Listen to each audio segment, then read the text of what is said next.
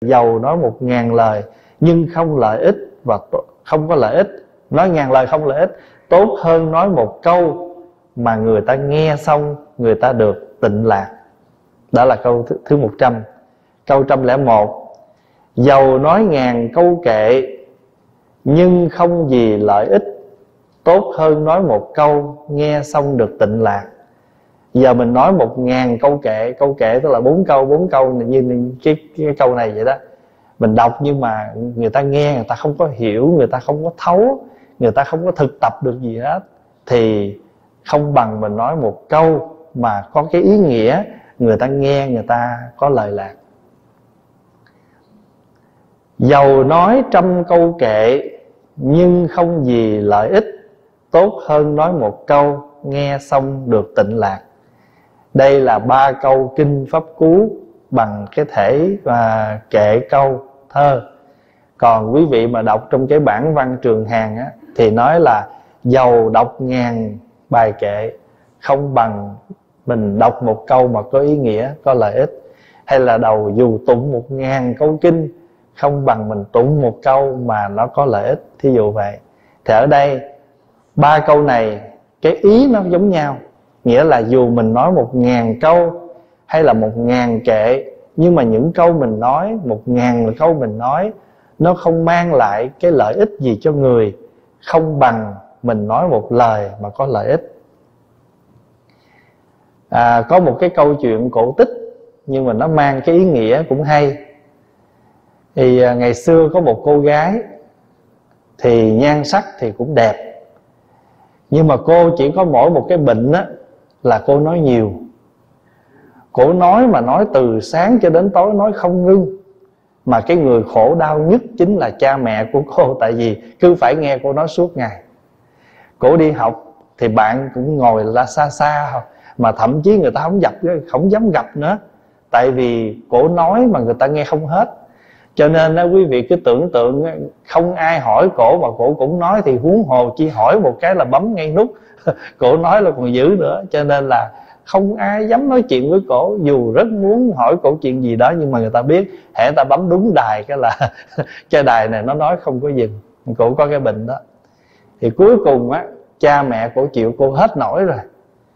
Mới đuổi cổ đi thì trong khi mà cổ buồn tuổi cổ đi lang thang cổ đến một bờ biển cổ ngồi cổ khóc thì không biết làm sao cái tiếng khóc của cổ nó lại động tới một ông ông, một anh chàng đang ngồi làm cái nghề chài lưới ở gần cái bờ biển đó. Thì anh này mới lên tìm làm quen và cuối cùng mới biết tự sự là cô này do nói nhiều mà bị đuổi. Anh này cũng động lòng. À, thứ nhất là cô này cũng đẹp cái thứ hai là nói chuyện cũng dễ thương tại anh mới nghe mà. Rồi thì à, xong rồi cuối cùng anh này thấy tội quá anh này nói thôi bây giờ tôi muốn cưới em làm vợ được không? Cái cô này là đang mất đang bị đuổi không có chỗ ở. Mà giờ được một người chịu cưới mình mà khỏe quá rồi. Nhưng mà cổ thấy anh có chịu nổi tôi không? Tôi nói nhiều lắm á.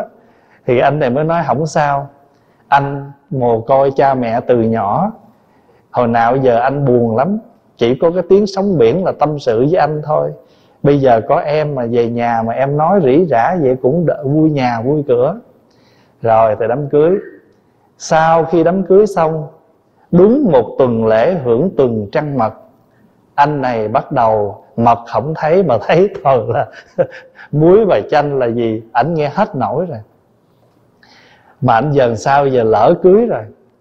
Thì cuối cùng cái ảnh chỉ muốn đi sớm về muộn thôi. Để chi? Để được trở về với những ngày tĩnh lặng của cái kiếp độc thân. Giờ tự nhiên rước người về nhà mà mình vừa đi làm về mệt mỏi, còn phải nghe cái tiếng cổ rỉ rả mà cổ nói gì đâu không mà không có gì ra gì mà cổ nói suốt ngày. Thì một ngày nọ, vô tình anh cứu được một cái ờ, một cá thần, một bà tiên gì đó thì cái bà tiên này mới mới mới nói với anh á, là bây giờ cho anh một cái ước nguyện. Thôi bây giờ à, bà tiên mới dục cho anh một cái cái ngọc ước nguyện để ông túi đem về. Thì anh cũng chưa biết ước nguyện gì, cứ để túi thôi. Thì đi về tới nhà, cái bắt đầu vừa vào gặp mặt, cái bắt đầu cổ sổ cổ hỏi cổ hỏi này, cổ hỏi kia, vừa lung tung hết. Vừa thì khi mà ông nghe nó mệt mỏi quá, cái ông nói, trời ơi, bà đến giùm tôi được không? Phải chi mà bà nói mà té vàng, té bạc ra được á, tôi cũng mừng. Thì vừa nói dứt câu đó đó, thì bắt đầu lẻn kẽn lẻn kẽn tiền nó rớt ra. Tại vì cái đó như một cái ước nguyện rồi. Cái đó như một ước nguyện rồi. Phải chi mà vợ tôi mà nói mà ra vàng, ra bạc thì đỡ quá. Thì như một ước nguyện thì cái, ở trong túi áo anh nó sẵn cái ngọc ước rồi. Cho nên anh ước một cái cái là được liền. Cái tự nhiên bà vợ bà thấy lạ. Tại sao mình nói chuyện mà tiền nó cứ văng ra? Mà bà đâu có chịu nín đâu, bà vừa lụm tiền, bà vừa hỏi. Ủa, chuyện gì xảy ra, chuyện gì xảy ra? Mà bất cứ bà nói vậy là tiền nó cứ tiếp tục nó ra vậy đó. Một lát sau thì quý vị biết không có bao lâu sau thì cái nhà này bây giờ nó không còn chỗ đi, bị tiền bạc cát nó đầy hết trơn. Rồi nó lên tới trên giường, nó sập luôn cái giường. Không còn ngủ nghỉ, không còn gì, nồi chảo gì trong nhà, bít bùng hết thì cái ông này ông buồn cái ông thấy ta không ổn rồi chạy ra ngoài ngoài ngoài biển trở lại. Nó tiên tiên tiên làm ơn tiên giúp con đi. Bây giờ con ngoài cái tiếng con vợ con còn nghe lẻn kẽn lẻn kẽn mọi ngày hai cái tiếng luôn con chắc chết. Xin cho con à, lại cái ước khác. Thì ông này mới suy nghĩ một hồi thì tiên mới nói thôi bây giờ con về con nói với vợ con á là khi nào mà nó nín nó nói được chừng năm ba câu mà có nghĩa lý á, thì rớt rang đồng. Tại chừng tuần lễ sau ông chạy ra ông nói không được ông ơi. Bây giờ là nó năm ba câu nó mới rớt rang đồng mà nó cũng liên hồi bất tận. Lâu cô đang ngủ cái đang ngủ ngao ông chị có nó mới nó nói hai ba câu cái tiền rớt cho mặt con. Rồi thì bà tiên cho ước thứ ba. Ước thứ ba là ước đó bây giờ tiên mới nói thôi bây giờ đó con về con nói với vợ con á, nó nín suốt ngày đi, rồi chiều về nó nói câu nào mà có có nghĩa, có lý ra được đồng. Thì đâu chừng hai tuần lễ sau thì ông chạy ra gặp tiên, nói, tiên ơi, bây giờ con khổ quá, vợ con nó nín nó phát ứ, nó bệnh rồi. bây giờ người nó phù hết trơn, bây giờ nó không nói được. Nó ứ nó ứ hơi. Nó ứ hơi giờ người nó phù hết trơn. Mà mà bây giờ là con nó không có nhúc nhích gì nổi hết, mà ăn còn phải đút nữa. Thôi thôi, khổ quá. Thì cuối cùng á, nghĩ được một chập rồi, tiên mới nói, thôi bây giờ con về, con nói lại. Là khi nào vợ con nói ra một cái câu gì hay và có ý nghĩa thì mới rớt ra một đồng thì quý vị biết là thường cái người mà nói một câu có ý nghĩa, nói một câu có hay, thì phải trải qua một khoảng thời gian làm gì? Suy nghĩ. Phải không? Đó. cái người mà người ta nghe thật kỹ, ai muốn nói gì, thì người đó phải lắng để nghe. Người không lắng làm sao nghe? Cho nên ngay cả tiếng việt mình chúng ta nói hàng ngày, đã nhắc nhở chúng ta rồi. Muốn nghe thấu đáo anh phải lắng xuống gọi là lắng nghe. Mà thường thường mà nói, nè, lắng nghe tôi nói. Mà ồn như cái chợ vậy thì lấy cái gì mà mà hiểu hết. Cho nên muốn nghe cho thấu đáo phải lắng xuống. You only can listen deeply until you calm yourself down. Mình không có lắng xuống làm sao nghe. Thì bây giờ cái cô này cũng vậy. Một cái người mà người ta có những cái lời nói hay là phải có những cái tư duy sau một cái khoảng thời gian. Thường á Việt Nam mình hay nói uống lưỡi 7 lần trước khi nói. Uống lưỡi 7 lần. Tại sao uống 3 lần chưa đủ? À, nếu mà mình tại vì cái khoảng thời gian mà chúng ta trước khi nói là chúng ta phải có một cái suy nghĩ rồi mới nói. À, đó là cái câu chuyện. Rồi cuối cùng á cái cô này á là cứ mỗi một ngày á hoặc là hai ba ngày cổ mới ra được một đồng. Rồi một tuần lễ 10 ngày vậy gom được một số tiền. Hai vợ chồng sống rất là yên ấm tại vì ít tiền nó sống đủ rồi. Mà giờ yên ấm là ông không phải rầu rĩ với cái lời nói hàng ngày mà vô ích. Cho nên người xưa hay nhắc á à, người ít nói không phải là người nói ít mà là không nói những lời vô ích người ít nói không có nghĩa là nói ít, mà là không nói những lời vô ích. Tại vì mình nói nhiều mà lời nói đó nó nó vô ích, nó vô nghĩa. Giống như trong cái vị mà thọ thập thiện đó, thì đến cái thọ thập thiện là trong cái 10 điều lành đó, để mình ứng dụng, mình tu đó, về cái thân của mình có ba cái lỗi chúng ta nên khắc phục. Đó là giết giết người à, gọi là sát sinh à, trộm cắp tà hạnh khắc phục ba cái đó làm ba điều thiện. Ngược lại là phóng sanh bố thí chánh hạnh. Đó là ba nghiệp về thân. À, bốn cái lỗi về cái miệng. Miệng mình nó có bốn lỗi. Dựng chuyện nói dối cho người đó là chuyện có nói không gọi là nói dối. Giận lên thì chửi rủa người ta gọi là ác khẩu. Thiêu dệt đâm thọc cho người ta gây gỗ đó là lưỡng thiệt. Và cái tới thứ tư này nó có hai cách. Một là nói những lời mê hoặc dụ dỗ người gọi là ý ngữ. À, hoặc là nói những lời không có ích lợi gì cho ai hết. Có nhiều khi có nhiều điều mình nói nó không mang lại cái lợi ích cho người thì chúng ta nên có chánh niệm đừng nói. Mặc dù đó là sự thật nhưng mà sự thật đó chưa đúng lúc để nói thì chúng ta cũng không nên nói. Ngày xưa đức phật á, ở trong rừng với các thầy đệ tử á, thì đức phật mới cầm một nắm lá lên và hỏi các thầy nắm lá trong tay tôi nhiều hay nắm lá trong rừng này nhiều? Thì các vị mới trả lời là nắm lá trong tay của đức thế tôn so với lại cái nắm lá trong rừng thì chẳng bao nhiêu hết. Đúng như vậy lá trong rừng thì quá nhiều mà lá trong tay của phật thì quá ít. Đức phật nói cũng như thế. Những gì tôi biết như lá trong rừng, mà những gì tôi cần nói cho quý vị nghe, để quý vị hiểu, quý vị ứng dụng, quý vị sống tu, cũng giống như lá trong gai tay tôi. Tại vì có những điều nó, quý vị không cần phải bàn thảo, không cần phải nói. À mình nói những cái gì mà hiện tại bây giờ nó thiết thực nó gần gũi. À, cho nên đức phật nói những gì tôi tôi tôi nói cho quý vị đó giống như lá trong tay thôi. Còn cái tôi biết thì rất nhiều. Cũng giống như hiện tại bây giờ trong mỗi người chúng ta thí dụ mình gặp cái người đó mình biết lý lịch họ hết á. Gốc rễ gia đình họ thân thế họ cha mẹ họ nội ngoại dòng tộc giàu nghèo sao biết hết. Nhưng mà giờ người qua đây người đó họ sống không đúng như mình nói mình biết mà cũng đâu liên quan gì tới mình. Cũng chẳng tác hại tới ai, thôi cô không nói. Tại vì sao? Nó không có lợi ích. Còn ví dụ như người đó không tốt, không lành, đừng lo. Ai cũng có cặp mắt để nhìn. Ai cũng có cái cái suy tư trước sau gì. Họ sống không đúng thì tự người ta nhìn, người ta biết.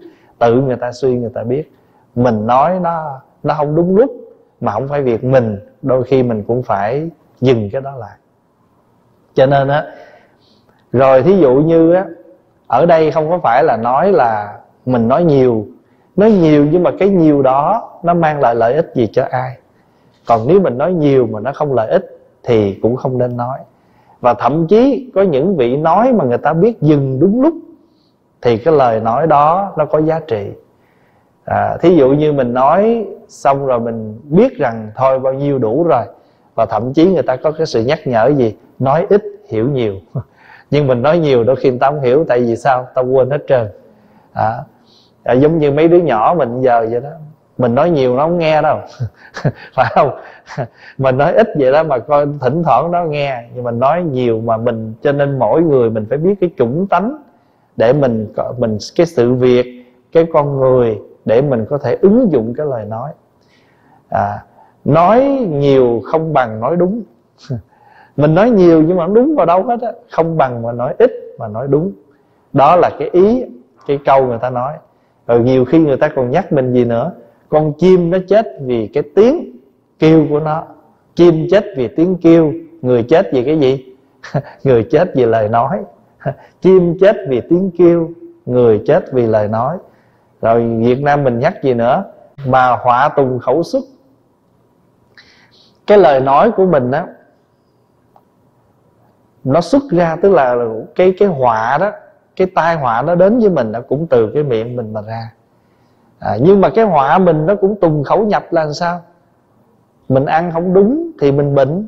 Cho nên á mỗi ngày ăn thì mình thu nói thì mình xuất mỗi ngày nơi cái miệng mình nó thu nhập mỗi ngày.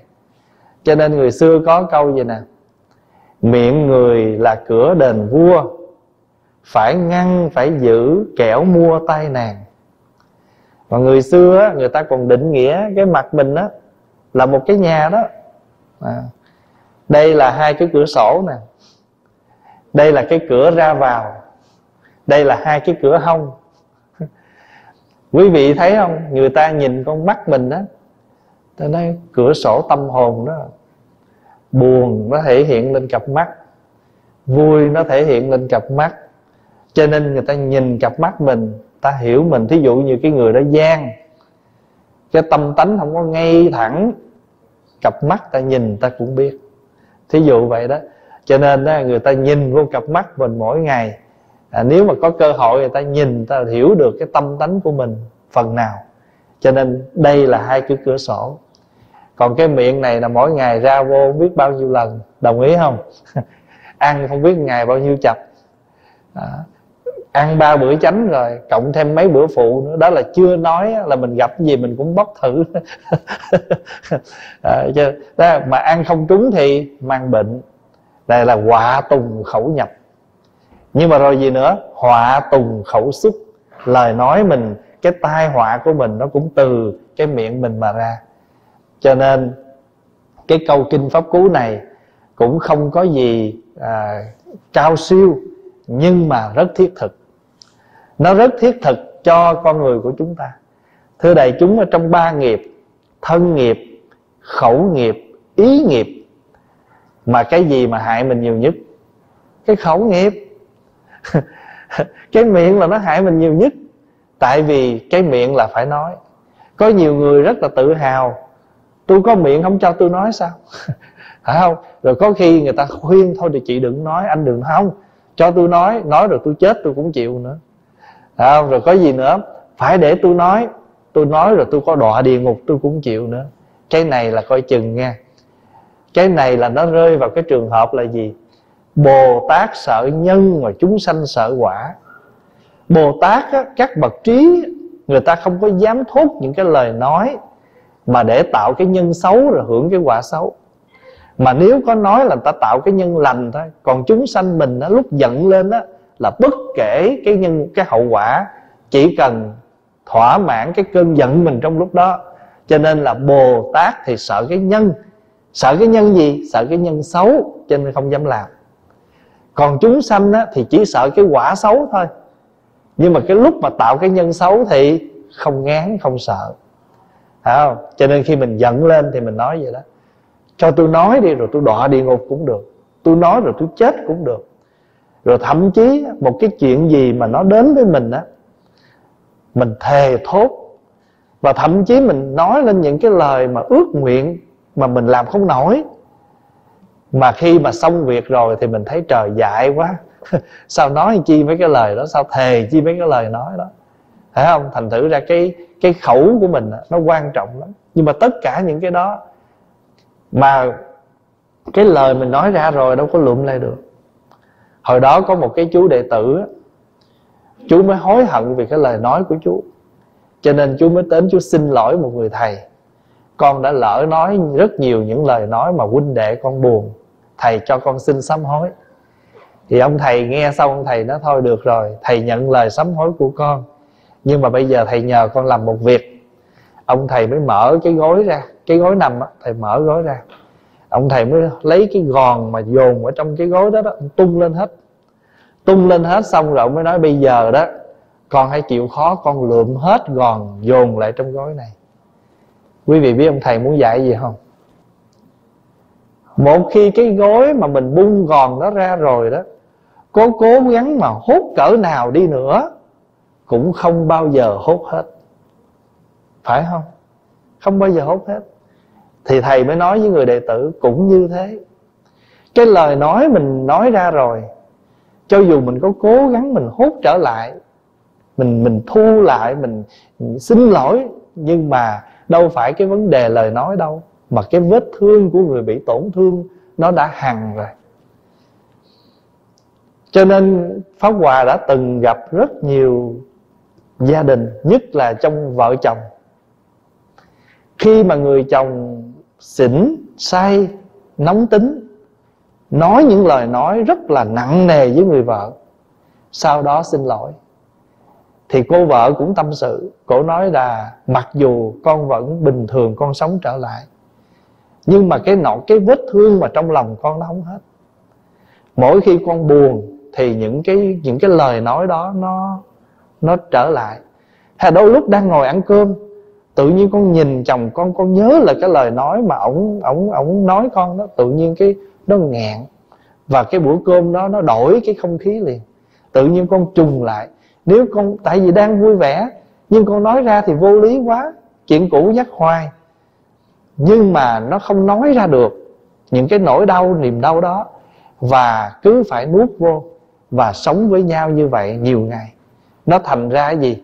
Nó thành ra cái trầm cảm nó thành ra những cái u uất nó thành ra những cái bệnh. Cho nên nó sở dĩ mà chúng ta xin lỗi đại chúng một phần trong những cái bệnh mà chúng ta nặng nề như ung thư. Một phần là cũng do những cái buồn khổ mà đời sống hàng ngày chúng ta tiếp xúc mà chúng ta không có giải tỏa nó được. Lâu ngày cái độc á cái độc của tâm á, phát ra. Mình ví dụ như xin lỗi mình ăn cái gì trúng mình uống thuốc sổ được nhưng mà cái niềm đau nỗi khổ nó ở trong lòng mình. Chỉ có Phật pháp, chỉ có lời Phật dạy. Những lời dạy của thánh hiền mới giúp mình tuôn ra được. Nhưng mà có những người người ta làm không được. Người ta vui lúc đó, người ta xả lúc đó, nhưng mà chỉ xả cái bên ngoài thôi. Chứ còn cái tận chiều sâu nó còn dính lại trong đó cũng giống như lỡ mình hốt cái gì mà nó có màu đỏ, màu xanh nó dính tay mình. Ví dụ như là nước màu, cái màu để mình pha thức ăn thôi. Lỡ mà nó dính tay, mặc dù mình có đi rửa đó, nhưng mà tức khắc lúc đó nó đâu có sạch cái tay mình liền đâu. Không? nó phải một vài ngày sau nó mới hết. Cũng giống như là mình đi xăm chữ trên người mình rồi, muốn xóa đâu phải dễ. Đó rồi ngày xưa một người cha cũng dạy một người con đó. à, người cha dạy người con là lấy một cái đinh đóng một cái cột rồi sau đó đổi ý nhổ cái đinh đó ra. Thì cây cột nó bị cái gì? Nó bị một cái lỗ. Thì người cha cũng nói với người con cũng như thế một lời nói của mình nó giống như cái đinh vậy đó. Mình đóng vô trong đó rồi xong mình thấy cảm thấy hối tiếc mình rút nó ra nhưng mà cây gỗ đó nó đâu trở lại liền lạc được. Nó đều có cái cái vết thương của nó. Cho nên đó, ở đây đức phật dạy giàu nói ngàn lời không có ích. Không tốt hơn nói một câu mà có nghĩa. Phải không? Câu có nghĩa là gì? Câu có chất lượng. Câu có chất lượng. Còn mình nói nhiều mà nó nó chỉ ở cái mặt ừ, số lượng chất lượng nó không có. À, mình làm việc gì cũng vậy rồi, giàu nói ngàn kệ, nhưng không lợi ích tốt hơn nói một câu mà nghe xong người khác được an lạc. Có nhiều mình nói mình người ta nghe, người ta nóng nảy. Ở đây không biết có ai có những kinh nghiệm có nhiều người ta nòi người ta nói chuyện với mình mà trong ruột mình nó sôi lắm. Mình khó chịu lắm. Cái đó cũng là một cái nghiệp đó. Có nhiều người nó cái tiếng nói của họ, cái âm ba, họ cũng không có nói gì bầm bậy, nhưng mà tự nhiên mình nghe mình không có thiện cảm. Và dường như không muốn nghe và thậm chí có nhiều khi nghe bực bội lắm. Nghe họ nói bực bội đó là cái nghiệp của họ. Họ phải nếu mà người đó muốn thì phải sám hối giải cái nghiệp đó.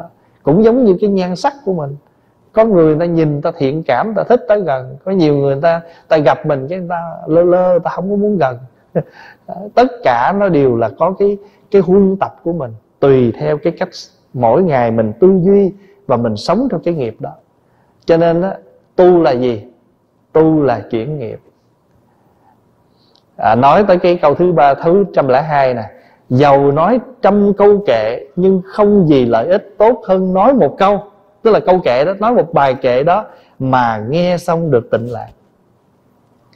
Pháp Hòa có làm một cái bài một cái bài à, thơ. Tại mỗi năm Pháp Hòa thường Pháp Hòa rảnh á những lúc ngồi rảnh Pháp Hòa hay chép kệ hay tự mình viết mấy bài kệ để ờ, làm quà tặng cho Phật tử trong những dịp Tết hay là đôi khi mình à, có những cái sự việc nó đến thì nhờ cái câu đó nó nó giúp mình. Thí dụ vậy đây là một câu ví dụ có bà viết là một cái bài kệ nè. Tu là chỉnh méo cho ngay. Tu là biết sửa tháng ngày dở dang. Tu không phải để nghênh ngang tu là biết rõ lối đàn mình đi. Pháp Hòa định nghĩa chữ tu bằng bốn câu. Tu là gì? Chỉnh méo cho ngay. Tu là chỉnh méo cho ngay. Tu là biết sửa tháng ngày dở dang. Mỗi ngày mình đều sống hết á, Nhưng mà không gì nó trọn hết á. Rồi mình cũng đang sống với con, Mình cũng đang sống với cháu, Mình đang sống với chồng, Đang sống với vợ, Đang sống với huynh đệ đáng sống với thầy tổ Nhưng cuộc sống của mình nó bị dở dang là vì mình chưa thấu đáo cái hiểu mình nó chưa hết cái thương mình nó chưa trọn. Cho nên giờ cuộc sống hạnh phúc của mình giờ là cho có chừng cầm chừng vậy thôi. À, tu là biết sửa tháng ngày dở dang. Tu đâu phải để nghênh ngang. Tu đâu phải để nghênh ngang. Tu là biết rõ lối đàn mình đi mình tu như thế nào để mình thấy được con đường mình đi? Mỗi ngày nó trong sáng và mỗi ngày mình đi mình có hạnh phúc có an vui.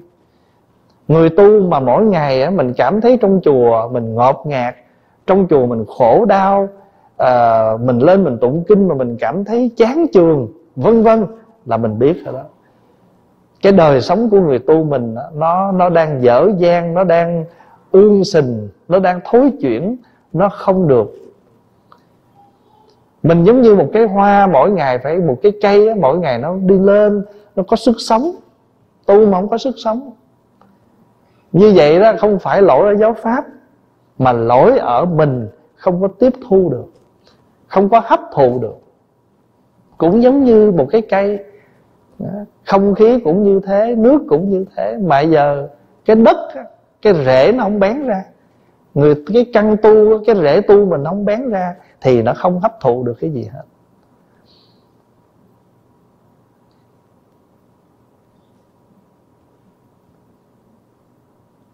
Pháp Hòa có một cái bài kệ nói về thất bại. Thất bại mà dừng lại, Thất bại thành thiên thu. Vững lòng từng bước tiến, Thành tựu mới nhàn du có nhiều người ta thất bại xong ta dừng ngay đó, ta không tiếp tục nữa. Thì có phải thất bại là thành thiên thu không? Thất bại mà dừng lại, thất bại thành thiên thu. Vững lòng từng bước tiến, thành tựu mới nhàn vô người ta có khả năng người ta chạy. Bây giờ mình đã khó khăn, mình đi bộ, đi từng bước. Nhưng mà bước nào vững bước đó 10 năm mình cũng sẽ tới. Người ta giỏi, người ta học ngày người ta thuộc 10 kệ mình không giỏi, ngày mình thuộc một bài kệ thôi. Cho mình một tuần lễ mình thuộc một bài kệ đi. 52 cái tuần, Mình cũng có 50 bài kệ bỏ túi. Cái vấn đề là ở chúng ta Chúng ta không có trách thời gian, Không có trách ai mà Mình có đủ tuệ giác Để mình sử dụng thời gian 24 tiếng ngày. Một tuần lễ 7 ngày Tháng 30 ngày Năm 365 ngày mình có sử dụng được không? Cái đó là cái có chuyện của mình. Kinh điển bài giảng sách học đầy dẫy. Cái vấn đề là chúng ta có để tâm học để biến mình thành một người mà có chứa đựng cái đạo lý. Mà người có chứng đựng đạo, đựng đạo lý thì sao? Nói nghĩ làm có đạo lý mình là cái người hấp thụ rồi. Buồn vui là hữu hạn. Tâm bạn mới thênh thang. Hãy tùy duyên tất cả bình an trong niết bàn. Có cái buồn nào mãi mãi không? Có cái vui nào mãi mãi không? Không. Cho nên buồn vui là hữu hạn. Cái gì mới thênh thang? Tâm bạn mới thênh thang. Buồn vui là hữu hạn, tâm bạn mới thênh thang. Biết Sống tùy duyên tất cả Bình an trong Niết Bàn. Mỗi ngày đời sống của chúng ta Cũng ăn Cũng thở, cũng nói, cũng cười Cũng lê, cũng đứng dậy Mà không có Niết Bàn. Tại mình không an không bằng lòng không chấp nhận thì làm sao có an được? Cho nên á, một ngày pháp hòa không có phí. Không làm việc ngồi quyết kệ pháp hòa nhiều bài kệ lắm. Mỗi một năm ít nhất pháp hòa cũng cả trăm bài như vậy. Mà suốt hai chục năm nay, năm nào pháp hòa cũng có cả trăm bài kệ như vậy. Pháp hòa suy nghĩ có dịp nào sẽ mang hết những bài kệ đó in thành in thành tập. Đường đi có ngắn, có dài, có trong gai cũng có ngày đến nơi tâm kiên chí cả cao ngời, giữ cho tâm ấy trọn đời nở hoa. Đường đi có ngắn, có dài, có trong gai, cũng có ngày đến nơi. Cái quan trọng là gì? Tâm cao chí cả. Cái trí của mình nó phải lớn. Cho nên người ta thường nói cái cái sự học của mình nó giống như một bầu trời vậy đó. Nhưng mà cái trí học của mình nó là cái thang. Chí mình là cái thang. Còn học là như bầu trời vậy đó. Quan trọng là mình có được cái trí để mình leo thang lên trời không? Ai nói mình hay dở, ta khoan vội trách hờn. Khen chê là bài học cho mình sống tốt hơn. Quá trời kệ sao mình không học? Mà chỉ cần mình nói bây giờ bốn câu này học ngày không thuộc tuần lễ thuộc không? Chắc phải thuộc chứ. Mà nếu mà chịu khó một tuần lễ một bài kệ cho mình cho mình 25 tuần để nghỉ đi. 25 tuần năm có 25 bài kệ. Tâm kiên chí cả cao ngơi, giữ cho tâm ấy trọn đời nở hoa. Chỉ cần mình giữ được cái tâm đó năm nào mình cũng có giáo pháp năm nào mình cũng có món ăn mới ngày nào mình cũng có niềm vui. Pháp Hòa mới nói, Bận rộn mà rảnh rang Tu đâu phải để nhàn. Phải không? Bận rộn mà rảnh rang Tu đâu phải để nhàn. Làm việc nhiều, Bận rộn, Nhưng mà cái bận rộn của mình Mình có niềm vui trong cái đó, Thì tự nhiên Cái lực của mình nó tăng trưởng. Còn mình dùng cái sức lực mình làm không á, Mau kiệt sức lắm. Dùng sức mà phải có tâm. Cho nên việc gì mình làm, thổi tâm mình vô đó, việc nó khác liền. Sắp một cái bàn cúng, bày một dĩa trái cây, cắm một bình hoa, dọn một cái tọa cụ bồ đoàn, để cái nhang vào trong trong cái ống, rút cây nhang ra cắm, tâm không thổi vô đó, dù chỉ là một cây nhang cũng thấy liền mà pháp hòa chỉ, pháp hòa nói hoài cái chuyện đó. Rút cây nhang ra mà cắm nhang thôi, người ta hiểu được mình tu tới đâu. Trước hết nè, rút cây nhang ra. Đừng có đừng có bật lửa liền nha, phải nhìn cây nhang cái. Coi cây nhang này thẳng hay ngay, thẳng hay méo. Có nhiều cái xương nhang nó bị cong. Sau khi mình thấy nó cong, lấy cái tay nương theo cây nhang nhẹ nhẹ lên, nhang lập tức thẳng.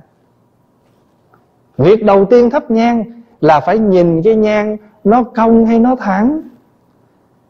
Trời ơi cây nhang nó thiếu điều Nó muốn gãy xương vậy. Cũng thắp cây nhang lên. Cái này là cái gì? Thiếu sự nhìn lại. Chỉ một cây nhang thôi Mà mình không có nhìn lại nó, Thì lấy gì mà thấy nó méo, Bẻ cho nó ngay? Chứng tỏ mỗi ngày mình sống, mình đều có sự phản quan nhìn lại mình. Khi mà người ta hiềm khích mình, khoan trách người ta, nhìn lại, tại sao mình sống như thế nào mà để cho người ta hiềm khích mình? Hẳn phải có lý do, chắc có lẽ mình chưa biết. Có thể đời này, có thể quá khứ, nhưng phải có vấn đề tại sao bữa nay người đó họ không không ưa mình nữa? Phải có vấn đề. Chứ đâu phải khi không khi không. Còn nếu mình nhìn kỹ rồi mà không có gì hết thì này là gì? Nghiệp của quá khứ, quan trái tiền khiên. Còn nếu không phải nữa gì? Tự người đó họ chuốc khổ, còn mình thảnh thang rồi. Bởi vì ít nhất mình cũng có nhìn lại. Rồi thắp cây nhang xong, quạt lửa. Không có thổi. Thắp nhang là phải lấy tay quạt phất cái lửa cho nó tắt, chứ không có lấy miệng thổi nhang. Rồi cầm cái nhang lên, đến dân phật mà hãy cấm cái nhang là phải cho ngay ngay cái giữa. Chỉ nội cái chuyện rút cây nhang, bật cái lửa lên,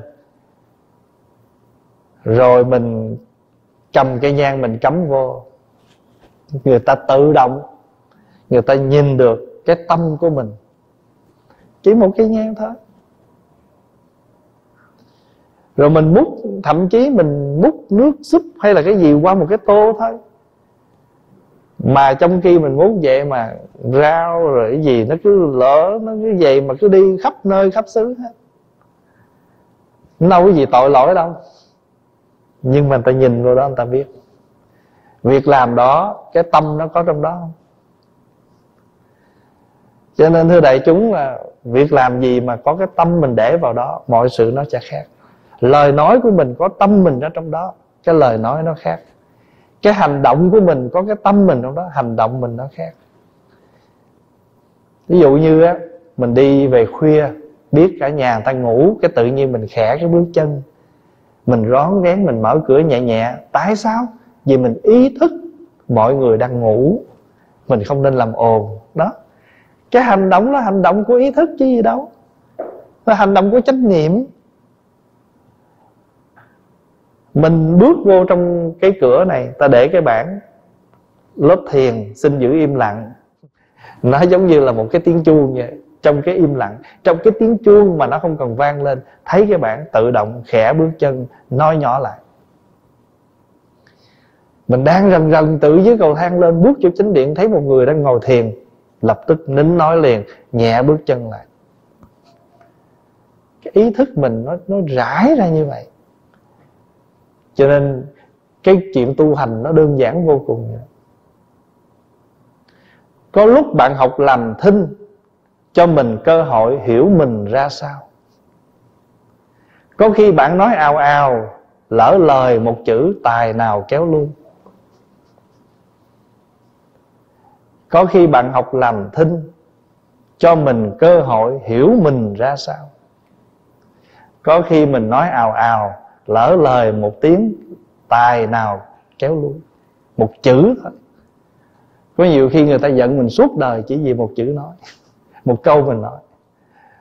Thôi thì qua ba câu, cái câu kinh pháp cú ở trong phẩm ngàn ha là chúng ta chỉ hiểu đơn giản là mình nói nhiều không bằng nói đúng. À. Mình thương mình thương đó cho nên mình hiểu được cái cái người đó như thế nào mà mình chúng ta cố gắng thay đổi người đó thay đổi người đó. Và cho nhà Phật thường gọi là từ bi trí tuệ. Mà với cái danh từ à, mà sư ông dịch lại với chữ từ bi trí tuệ sư ông dịch là trí tuệ dịch là hiểu. À, từ bi gọi là thương. Từ ngữ rất là dễ gần gũi mà dễ thực tập không? À, có hiểu mới có thương. À, mình hiểu chừng nào thì mình thương càng hiểu càng sâu thì thương càng nhiều là như vậy đó. Thì à, chút xíu nữa đây à, sau khi pháp thoại này xong thì tất cả chúng ta cùng đứng lên à, dân hương và à, đảnh lễ sư ông ba lễ. À, dù quý vị chưa biết ngài là ai nhưng mà hôm nay à, cái cơ duyên mình được biết ngài mình chưa thực tập gì lời dạy của ngài nhưng mình vẫn kính trọng ngài là một vị thầy à, lãnh đạo tinh thần một vị thầy cao tuổi. Mình đảnh lễ để mình gieo duyên. Biết đâu ngài trở lại đời này thì mình lại được làm đệ tử dự vào những cái pháp hội mà ngài đã giảng thuyết làm sao? Phải không? Đó. Và sau này à, và sau cái buổi lễ hôm nay thì à, linh đường của ngài sẽ được để trên chánh điện đây trong vòng một tuần lễ để tất cả phật tử địa phương ái minh tinh và các vùng phụ cận. Nếu quý vị muốn đến đây đảnh lễ ngài dân hương cho ngài và thọ tâm tan tức là mỗi nếu mình muốn thì mình nhận một tấm vải vàng mình gắn áo đây để tượng trưng cho là mình tưởng nhớ tưởng niệm đến ngài. Và nguyện ngài vẫn tiếp tục trở lại đời này để tiếp tục cái con đường à, một sự nghiệp mà ngài à, độ sanh. Dĩ nhiên là đời này ngài làm xong rồi. Nhưng mà chúng sanh còn khổ thì hạnh nguyện của bồ tát vẫn trở lại đời này. Quý vị nhớ là các vị mà à, các vị chư vị tôn đức mà đến đời này là có hạnh nguyện độ sanh. Và khi nào công việc xong thì các ngài đi. Nhưng mà vì mình còn nhiều chơi vơi quá mình còn nhiều lặng ngập quá thì các ngài sẽ trở lại để tiếp tục công việc giáo hóa đó. Và nếu mình chưa được dự vào pháp hội của ngài thì mình nguyện không phải riêng ngài không Thấy không? Thí dụ như hòa thượng uh, trúc lâm tức là sư ông thượng thanh hà từ. À, rồi đây sư ông cũng sẽ viên tịch năm nay xong 98 tuổi rồi. Thấy không? Đang còn sống ở Việt Nam cũng bệnh. Không? Rồi các ngài cũng sẽ lần lượt ra đi. Nhưng mình tin rằng với cái tâm nguyện Bồ Tát của các ngài thì cõi đời còn khổ thì các ngài vẫn còn sẽ trở lại đời này. Mà nếu đời này mình chưa đủ duyên dự vào trong pháp hội của quý ngài thì mình nguyện à, con nguyện là được dự vào những pháp hội đó để làm gì? Để chúng ta khai mở cái tâm của mình và chúng ta có được một cuộc sống lành mạnh một cuộc sống ý nghĩa hơn và làm được nhiều lợi ích hơn. Thí dụ đời này mình sống cũng tốt rồi nhưng mà mình mới làm lợi cho ai? Cho gia đình thôi. Bất quá là người thân mình thôi. Nhưng mà chưa có lợi ích cho chúng sanh nhiều hơn nữa. Nhưng nếu mình thấy được cái con đường nó đẹp thì mình phát nguyện à, sống một cuộc sống mà mình có thể làm lợi ích cho nhiều người hơn. Và sau này à, mỗi tuần ngày thứ bảy lúc 11 giờ thì chúng ta sẽ làm lễ à, kỷ niệm sư ông trong vòng 7 tuần thì bắt đầu từ thứ bảy tuần sau à, quý phật tử nào muốn về để mà dự những cái tuần lễ cúng đó thì quý vị cũng có thể về đây ngày thứ bảy 11 giờ trưa. Bắt đầu từ tối ngày mai tại vì tang lễ đang diễn ra tại Việt Nam cho đến thứ bảy tuần sau tại Việt Nam mới làm lễ hỏa táng. Thì trong 7 ngày này à, quý vị có thể um, tới lui để mà uh, thắp hương và tưởng niệm thì hôm nay à, như là lời thông báo à, thầy đức thầy Huệ tạng hồi nãy cũng có chia sẻ với các bạn bằng tiếng anh đó. Thì nếu mà quý vị nào chưa bao giờ biết những cái lời dạy của ngài thì quý vị có thể tìm những quyển sách của ngài viết và rất là dễ đọc dễ hiểu chứ không có gì cao siêu. Và tất cả những cái lời dạy rất thiết thực trong cuộc sống của chúng ta. Mà quý vị biết là người tây phương ngưỡng vọng ngài dữ lắm và hiện nay ở tại miền Bắc California đó ở úc linh thành phố úc đó, có một công viên. À, người ta dựng một cái công viên và dựng tượng của 150 nhân vật mà có ảnh hưởng đến sự hòa bình của thế giới. Thì trong đó Phật giáo chúng ta có hai vị. Một là Đức Đạt Lai Lạt Ma ở ờ, của Phật giáo Tây Tạng. Hai là thiền sư nhất hạnh của Phật giáo Việt Nam. Bây giờ quý vị nào có dịp đi miền Bắc California đến à, thành phố úc linh tới cái công viên đó thì quý vị sẽ thấy được bức tượng của thiền sư nhất hạnh ở đó. À, và đó là một cái hãnh diện cho người Việt à, cho Phật giáo Việt Nam của chúng ta. Thì hôm nay à, chúng ta tiếp tục học kinh pháp cú câu thứ 80 người trị thủy dẫn nước kẻ làm tên nắng tên người thợ mộc uống gỗ, bậc trí nhiếp tự thân. Thì câu này là có một vị sa di, thì à, nhập đạo tu tập, nhưng mà có túc duyên. Tức túc duyên là gì? Tức là có cái duyên từ đời trước rồi. Cho nên một hôm vị sa di này đi trên đường và thấy người ta dẫn nước vào trong ruộng, thì người thầy mới nói, con thấy không? Miếng ruộng là miếng đất thôi miếng đất khô cằn. Nhưng mà nếu mình, người ta muốn, người ta có thể khai mở một con đường thì sẽ dẫn nước vào được ở bên trong và làm cho miếng đất đó màu mỡ, miếng đất đó được tươi tốt lên. À thì rồi ngày đi một đoạn thì ngày thấy từ một miếng, từ một cái gỗ, một cái thanh gỗ mà người ta có thể chuốt nó được làm những mũi tên để mà sử dụng, thì ngài mới nói như vậy thì tất cả chúng ta ai cũng có thể làm được một cái điều gì nếu mình muốn. Cho nên à, đức phật dạy cái câu kinh pháp cú này người trị thủy dẫn thủy. Tức là cái người nào mà người ta chuyên về lo về cái việc mà gọi là à, nước nôi thì người ta đủ khả năng để làm gì? Để dẫn thủy à, dẫn nước vào hay là nói cách khác là người mà làm ruộng thì phải biết cách làm ruộng khai mương à, à, mà gọi là à, à, chia đất vân vân gọi là người trị thủy dẫn thủy. Kẻ làm tên nắng tên tức là người nào mà chuyên môn về cái ngành gọi là làm những cung tên thì họ sẽ rất rành về cái cách làm những cái cung cái tên. À hai hai người rồi phải không? Hình ảnh người thứ ba người thợ mộc uống gỗ nếu mà anh là thợ mộc, thì anh sẽ biết cách bào, đục đẽo những khúc gỗ để làm những tác phẩm của mình. Phải không? Đưa ba hình ảnh đó lên, rồi cuối cùng lấy ba hình ảnh đó để nói lên một người tu. Bậc trí nhiếp tự thân. Người trí, người tu tập thì phải tự nhiếp phục thân tâm của mình. Cái câu này nếu mình hiểu đơn giản là gì? Mỗi người, ai làm ngành gì, việc gì thì phải biết rành về cái việc của mình. Nếu mà thí dụ bây giờ người thợ tóc thì phải biết rành về việc làm tóc. Người thợ móng tay thì phải biết rành về nghề móng tay. Người may vá phải biết rành việc may vá. Người bà mở nhà hàng thì phải biết rành việc nhà hàng.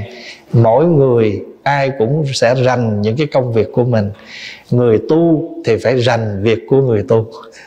Thí dụ như giờ, quý vị mà bước vô trong chùa này, quý vị thấy một thầy, một sư cô mà đang ngồi tụng kinh, đang quét chùa là chuyện bình thường, phải không? Tại vì đó chuyện của người tu.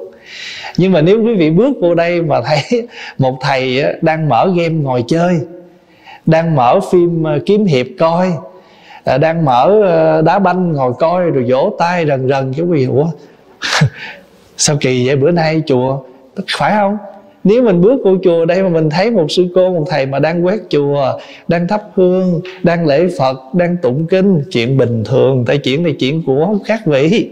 Nhưng mà nếu các vị mà bước vô đây mà thấy chuyện không bình thường,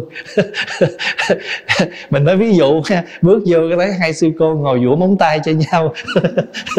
Ủa sao kỳ vậy? Phải không? Đâu phải chuyện của người ta.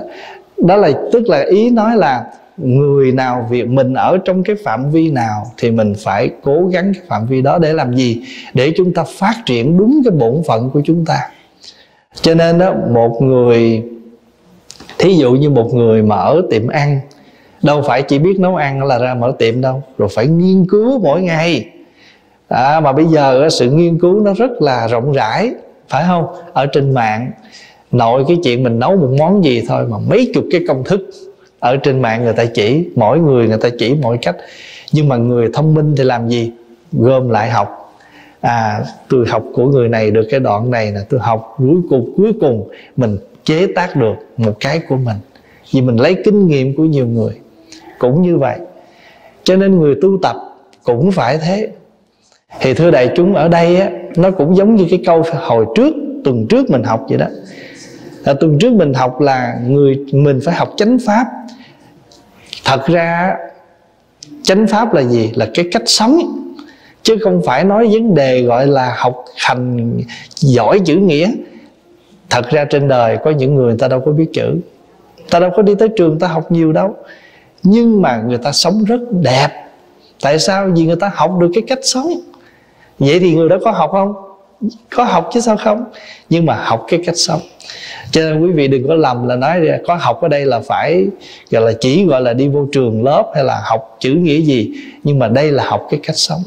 Dù mình có biết chữ, mình có giỏi đi nữa, có bằng nhiều bằng cấp đi nữa, nhưng mà cái cách sống không biết cách thì nó cũng chưa gọi là cái chánh pháp. Cho nên quý vị nhớ là pháp hỷ đem an lạc với tâm tư thường tịnh mà người trí mà nghe thường quan hỷ với chánh pháp mà bậc thánh nói. À, và hiểu cái chỗ đó thì mình mới không có hiểu lầm là nói vậy là chê những người không có học. Dạ thưa không phải vậy. Ừ. ở đây mình nói là người trị thủy dẫn thủy. Rồi mình hiểu chữ thủy đây là gì? Là nước phải không? Mà nước thì đưa vô đất mà đất mà chỗ nào mà nó khô cằn mà có nước thì nó mềm mại nó nó màu mỡ cũng như thế. Cái tâm của mình nó cũng khô cằn nếu chúng ta không có hiểu được giáo pháp. Cho nên á nước đây là nước của chánh pháp mỗi ngày chúng ta phải thấm nhuần để chúng ta tưới tẩm. Thưa đại chúng á mặc dù mình có hiểu đời là vô thường ai sống cũng phải chết hiểu phải không? Như nãy kinh hải đảo tự thân mình đọc vậy đó. Đức phật nói á, thầy xá lợi phất và thầy mục kiền liên là hai học là hai thầy lớn ở trong giáo đoàn. Thì cái chuyện hai thầy có mất trước cũng là chuyện đương nhiên. Cũng như một cái cây mà cây nào mà nó già thì nó phải chết trước. Mình hiểu vậy đó. Nhưng mà khi đụng chuyện mình có thoát được cái buồn không? Khó lắm. Phải không? Tại vì mình vẫn còn là tâm của một con người phàm. À, sanh ly tử biệt vẫn buồn cho nên Pháp Hòa thấm cái câu á, biết rằng sanh tử huyễn, ly biệt vẫn đau thương. Biết là cuộc đời này sống chết vậy đó, nhưng mà sự chia ly nào nó cũng có một cái nỗi buồn nào đó. Nhưng mà sau khi một cái buồn đó rồi thì chúng ta chấn tĩnh mình trở lại, là mình phải ý thức, mình phải trở lại, mình trở lại nương tựa và nhận diện và xoa dịu những cái cảm xúc của mình xoa dịu những cảm xúc của mình, tại vì con người mình có những cảm xúc. Cho nên nó tại sao ngày nay á, có nhiều người người ta bị stress, người ta bị depressed, người ta buồn hoài mà người ta không hết, là tại vì người ta chỉ để cho cái nguồn cảm xúc đó nó tuôn ra mà người ta không trở lại để người ta xoa dịu nó được. Cho nên ai cũng có cảm xúc, nhưng mà cái cách tu tập của chúng ta là phải trở lại để chúng ta làm sao xoa dịu cái cảm xúc đó à, để làm gì? Để chúng ta giữ quân bình mình trở lại. Để trở lại cái năng lực kiên trì ở nơi mình. Vì vậy người trị thủy dẫn thủy là mình phải đưa cái nguồn nước vào trong cái tâm khô khan của mình để cho cái tâm mình nó thấm nhuần. À, người mà có thấm nhuần giáo pháp cái tâm cái cái cách sống nó khác lắm người mà không thấm nhuần được cái sự thật của cuộc đời thì cái cách nó sống khác.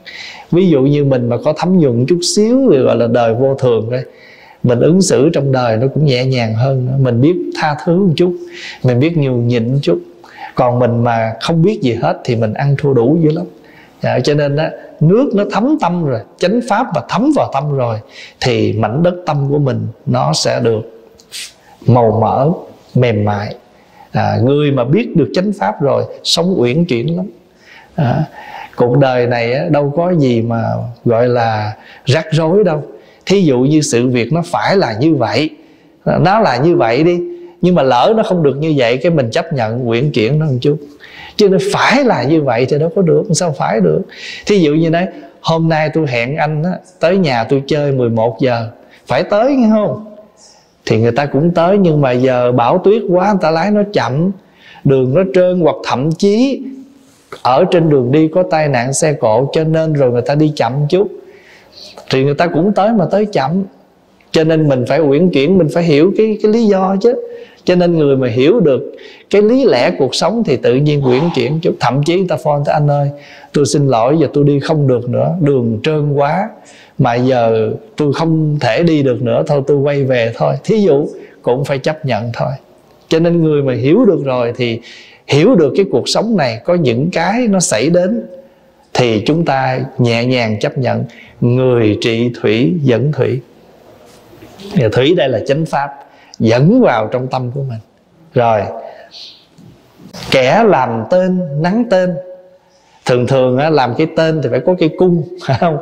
Và cái cung là tượng trưng cho thiền định, cái tên là tượng, cái mũi tên là tượng trưng cho trí tuệ. Mình mà có cái thiền định và có cái trí tuệ rồi đó, có hai cái bảo bối này rồi thì nhắm cái gì bắn của chúng. Thì cũng như thế, người mà có thiền định, có trí tuệ thì cuộc sống mình nó bình an hơn, nó quân bình hơn. Ở trong một cái bài kinh khác, kinh tăng chi bộ, có cái phẩm gọi là phẩm chiến sĩ giỏi đó thì đức phật nói một chiến sĩ giỏi là có bốn cái điều kiện. Một là người đó phải bắn giỏi. Hai là phải nhắm xa. Ba là phải chớp nhoáng, tức là nhanh nhẹn. Thứ tư là gì? Có sức mạnh. Nhiều khi mình dương cái cung mà không đủ sức cái cung đâu đi tới đâu đâu, phải không? Cho nên một chiến sĩ là phải đủ bốn cái năng lực. Một là bắn giỏi. Bắn giỏi là một việc rồi. Hai là phải có gì? Nhắm xa. Ba là phải nhanh nhậu gọi là chớp nhoáng. Thứ tư là sức mạnh. Đó là năng lực của một chiến sĩ. Thì đức phật quay lại người tu cũng phải đủ bốn năng lực. Bắn giỏi là gì? Là người tu đó phải có giới tức là phải có luật có lệ có đường lối tu tập. À, phải có ngăn nắp phải có trật tự. Điều thứ hai à, nhắm xa là gì? Là người đó phải hiểu ngũ quẩn là không. Ngũ quẩn là thân này nè. Sắc nè, sắc là sắc thân mình nè. Đầu tóc đồ của mình đây là sắc thân. Nhưng mà ngoài cái sắc thân mình còn gì nữa? Mình còn cảm thọ, mừng, giận, vui buồn. Có có feelings mà. Phải không? Thứ ba là gì? Tưởng cái perception của mình. Rồi hành là sự liên tục.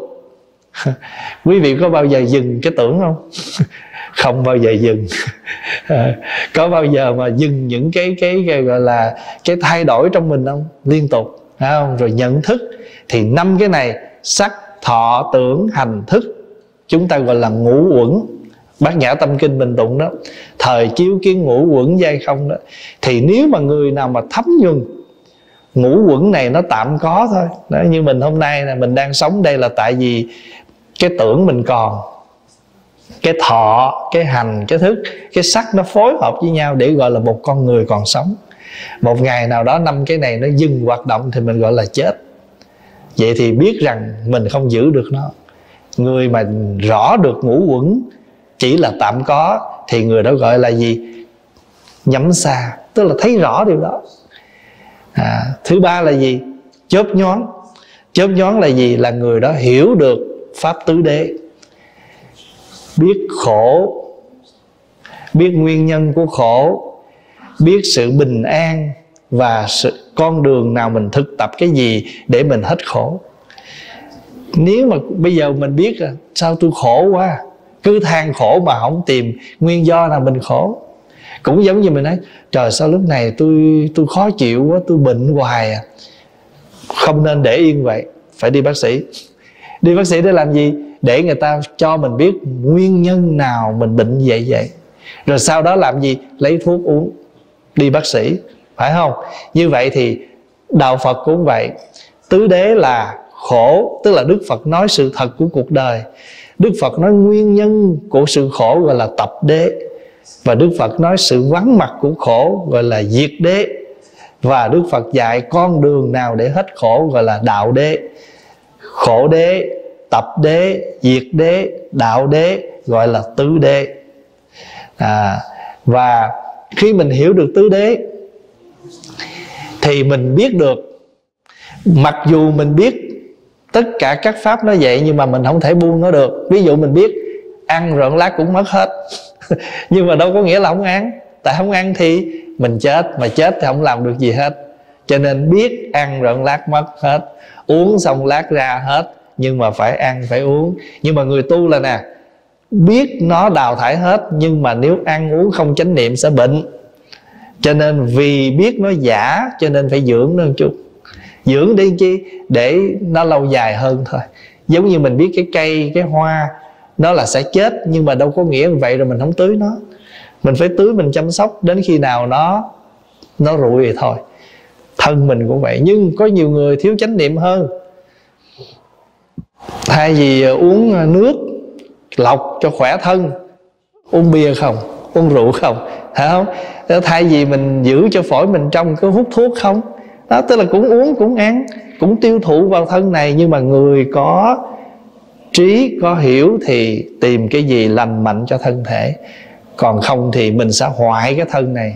Thay vì mình tưới cây bằng nước mình lại đi lem à, giấm, đem những cái gì đó vô mình tưới thì nó sẽ mau chết hơn. Thế thôi. Ừ. rồi cuối cuối cùng là gì? Sức mạnh. Gọi là gì? Sức mạnh để mà đủ dương cái cung, để mà đưa cái cung đi xa hơn. Thì ở đây cũng vậy, mình có đủ năng lực, đủ cái sức mạnh để đâm thủng những cái vô minh, những cái mê mờ đó đó là bài kinh mà gọi là người chiến sĩ giỏi ở trong tăng chi bộ, đức phật nói. Một người chiến sĩ là phải giỏi bốn việc. Bắn giỏi, nhắm xa, chớp nhoáng, sức mạnh. Người tu phải đủ bốn điều, giữ giới. Là thứ hai là gì? Hiểu ngũ quẩn hiểu tứ đế và có đủ trí tuệ để diệt những cái vô minh mê lầm. Kẻ làm tên, nắng tên người thợ mộc uống gỗ. Từ một cái miếng gỗ mà nếu người thợ mộc khéo tay thì người thợ mộc làm bất cứ hình dáng gì họ muốn. Quý vị thấy tượng phật bằng gỗ, những cái tác phẩm bằng gỗ không nó là một khúc gỗ. Vậy mà vào trong tay của người thợ khéo thì ta làm cái hình ảnh gì nó cũng ra hết. Phải không? Là cũng như thế. Mình á, giống như khúc gỗ vậy đó nhưng mà không có chịu khó đục đẽo à, moi móc thì sao ra được một cái tượng đẹp? Ý nói là mình không có chịu tẩy trừ thanh lọc thì làm sao ra một cái gì nó đẹp được? Có nhiều khi mình nói tôi vậy đó chịu chịu thôi. Thì giờ ta, ta tôi vậy là tôi là tôi khúc gỗ thôi thì ta chấp nhận khúc gỗ thôi. Nhưng mà nếu mình chịu khó cho người ta khoét một chút cuộc đời này nhiều khi á người ta tới, người ta móc mình chút, ta khiều mình chút, vậy mà tự nhiên lát mình ra tượng nhiều khi sao? Ta nói mình này, ta nói mình kia, tập cho mình có sức nhẫn nại. Nhất là các vị đi làm đi làm ở trong chỗ làm đó. Mình đi làm cho người ta, nhiều khi chủ hay là những người boss của mình khó chịu với mình, tối ngày cứ kiếm chuyện với mình. Nhờ vậy cho nên nó riết rồi mình sao? Mình bị sợ đó, sợ mất việc. Cho nên rốt, giống như cái người đó, họ tới họ đục đẽo mình mỗi ngày vậy đó. Lúc nào đi ngang mình cũng có chuyện để nói hết á. Thì giống như người ta khiêu người ta móc chút vậy đó. Lâu ngày cái tự nhiên mình thành một người giỏi. Pháp Hòa có một cái em đó cái Phật tử chùa đây. Hồi nhỏ ba nó khó với nó lắm. Khó đến mức độ á, Sáng ông ngọn đọc báo. Mà nó đi học mà nó bước ra cửa Mà ông nhìn cái bộ đồ nó Mà ông không đồng ý rồi đó là cái mặt ông chuyển sắc là nó biết rồi đó, nó biết ba nó không thích cái kiểu ăn mặc của nó nó vô thầy. Khó đến mức vậy. Vậy mà sau này nó nên người nó lên chùa nó mới nói, bây giờ con nghĩ lại, con cảm ơn ba con. Tại hồi đó ba con cũng khó vậy, giờ mới có con đó tại vì sao? Quý vị tưởng tượng ăn mặc mà còn vậy thì huống chi nhỏ này nó đi học mà nó về không đúng giờ. Nó về không đúng giờ là còn chết dữ nữa. Hay là học bài dở của nó, điểm của nó mà không đủ thì sao? Cho nên nhờ khó vậy cho nên rồi tốt. Cho nên mình gần những người những người thầy mà rất là nghiêm nghiêm khắc, không phải ghét mình mà muốn cho mình trở thành một con người mẫu mực. Cho nên thường thường quý vị nhìn những người mẫu mực. Đã đừng ra xin lỗi, đại chúng mà quý vị thấy những người mẫu không? Mặc dù có dáng đẹp mà cũng phải biết cách đi lên chứ, là tạo thành người mẫu chứ. Có cái dáng đẹp là chuyện, sắc diện đẹp là chuyện, nhưng khi muốn làm người mẫu phải vô đó cho người ta luyện à, quảng cáo cái áo lạnh người ta, người ta mà đi cùi lơ phất phơ vậy ai thấy hấp dẫn cái áo? Phải học cái cách đi sao mà nhìn cái áo cho nó hấp dẫn.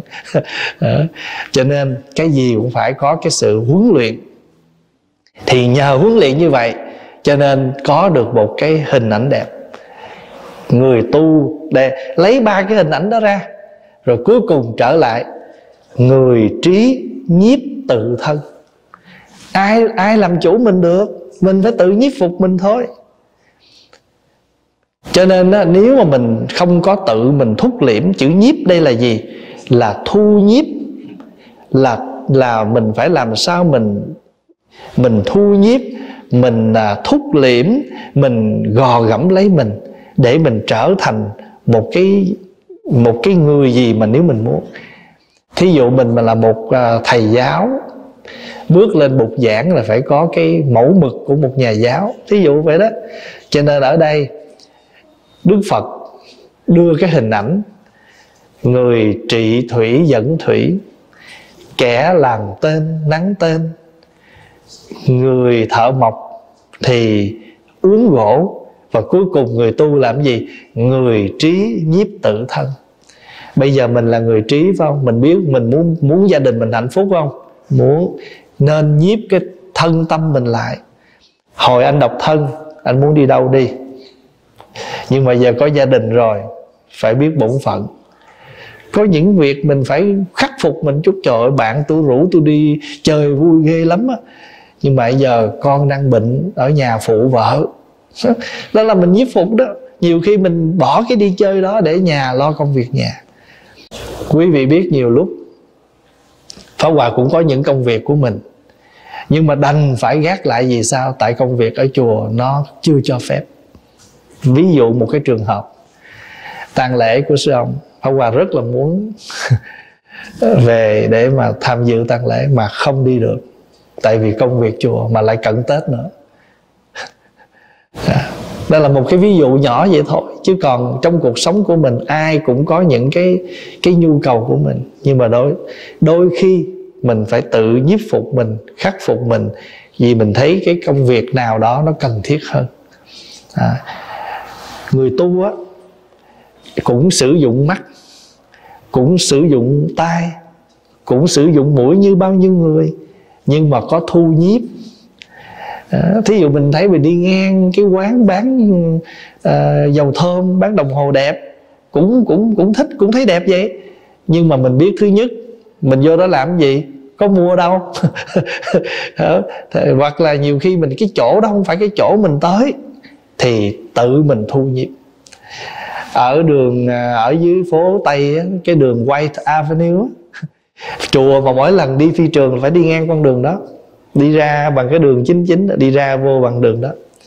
Mỗi lần tối, mùa hè mấy thầy chở không qua đi phi trường, từ phi trường về đi ngang khu vực đó, nó rần rần dữ lắm mà nhiều khi mùa đông á, trừ mấy chục độ nha mà có những người mặc những cái những cái đầm cái cũng đứng ngoài lạnh mà chờ tới phiên được vô những cái club đó. Tại vì họ limit. Ví dụ chỗ đó ba chục người thì được ba chục người vô dư phải đứng ngoài. Mỗi lần đi ngang vậy mà nói mấy đứa thấy ở đâu? Người ta người, người, mình thấy tội nghiệp quá trời lạnh quá mà sao ăn mặc vậy mà đứng? Nhưng mà chúng sanh mê rồi ta đâu có thấy nó khổ. ta đâu thấy khổ ta hạnh phúc chờ đợi. Có nhiều khi mình đi ăn nhà hàng mà tại chàng nó ngon quá, chấp nhận ngồi chờ tiếng đồng hồ để đường vô nó cũng có trường hợp như vậy. Rồi trong cuộc sống nó có rất nhiều thứ. Nhưng mà thôi thì người ta có những cái vui đó đó là việc của người ta. Nhưng mà người tu mình phải biết việc của mình.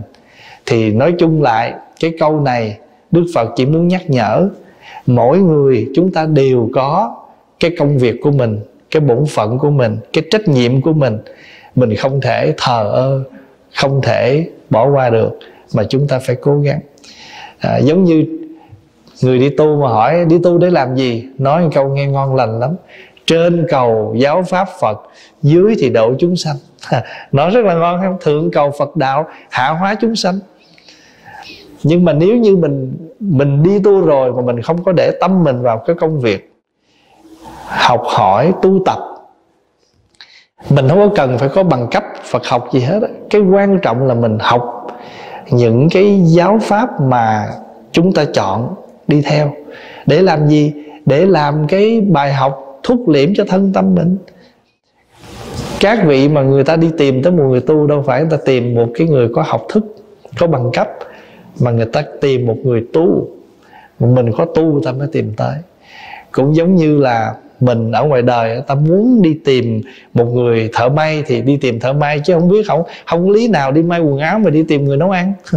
Người ta muốn người ta muốn thành tựu cái gì ta đi kiếm đúng người thợ đó. Mà người thợ nào giỏi thì người ta sẽ tới. Thì ở đây cũng như thế.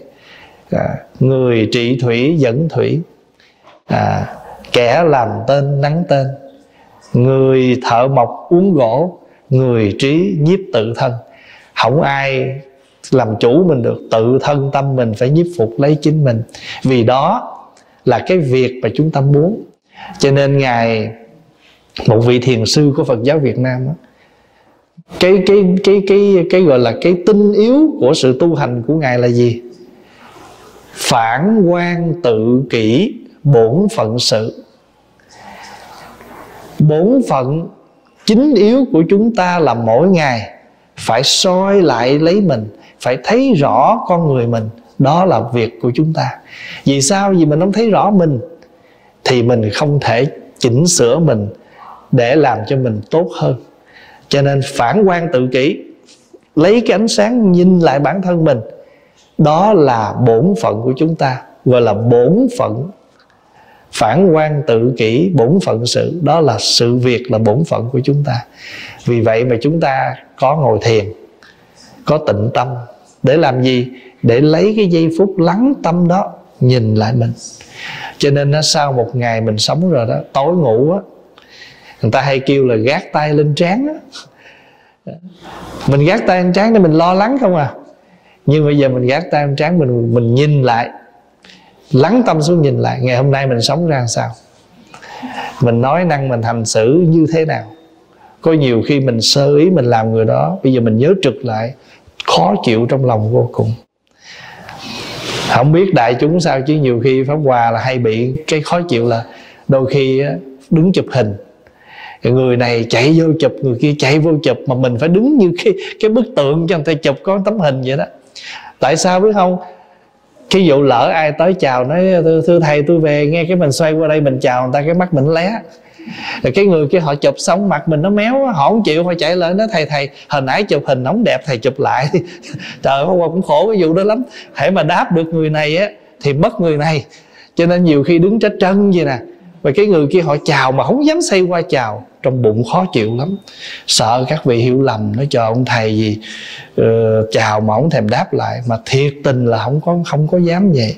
Nhưng mà nó có những cái khó là mình xoay qua mình đáp rồi, thế nào lát cũng có nhiều lúc đứng chụp hình cả trăm, cả mấy trăm người vậy. Mà có một người tới năm, bảy tấm hình đấy chụp mờ quá. Rồi, chụp lại. Chụp xong rồi, thầy cho con chụp lại đi, thầy đẹp con không đẹp? Tôi đã nhất định phải chụp làm sao mà đến khi nào người ta đẹp mới được, thôi thành thử ra thà là mình xấu mà người ta đẹp mới được. Mà rồi, rồi, rồi có đôi khi chạy lại thầy cho chụp lại đi tại thầy nhìn chỗ khác. Cho nên rồi một lần mà chụp phá hòa khổ nhất là chụp nhiều máy nha không biết ngó cái máy nào. Thôi thì bây giờ cứ đứng thẳng ngó vậy đi. Ai chụp hướng nào đó chụp mà tôi cứ nhó thẳng cái đây à, nhiều khi đi giảng có một tiếng đồng hồ đứng chụp hai tiếng. À. thôi thì hôm nay chúng ta học à, câu kinh thứ 80 ha thì cái câu này ý muốn nói là tự mỗi người ai cũng có cái bổn phận cái công việc của mình. Mình thợ mộc lo chuyện thợ mộc. Mình à, à, làm tên cung thì mình làm tên cung. Mình là người dẫn nước thì mình lo mình cái việc dẫn nước. Người tu mình lo việc của người tu. Cho nên mỗi lần qua đi giảng á, tới cái một vấn đáp á Pháp Hòa hay nhắc lắm. Quý Phật tử nhớ hỏi những câu hỏi gì liên quan đến Phật Pháp thôi những cái gì nó không phải Phật Pháp đừng có hỏi em không có biết. Em không có biết. Trời ơi nói cái chuyện Phật Pháp mình nói còn chưa hết nữa đó. Mình nói còn chưa rồi nữa thì làm sao biết chuyện khác được phải không? Thì thật cái cái gì mình biết thì mình mới nói. Còn không biết thì sao dám nói? Mà nói càng nói bừa thì lại càng lỗi hơn.